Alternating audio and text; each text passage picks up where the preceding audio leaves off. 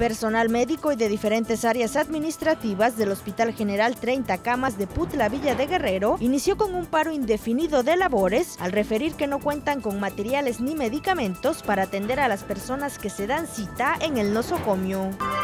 Habitantes de Cimatlán de Lázaro Cárdenas denunciaron que en la agresión armada que sufrieron por parte de San Sebastián Nopalera en la región de la Sierra Sur, una persona perdió la vida. Sin embargo, hasta el momento los pobladores de esta última agencia han impedido el ingreso de peritos y agentes de investigaciones de la Fiscalía General del Estado de Oaxaca a fin de levantar el cadáver. La Bocana y Bacocho en Oaxaca son consideradas entre las 17 playas más limpias del país, de acuerdo a un estudio realizado por la Secretaría de Salud que avala que estas playas son aptas para uso recreativo.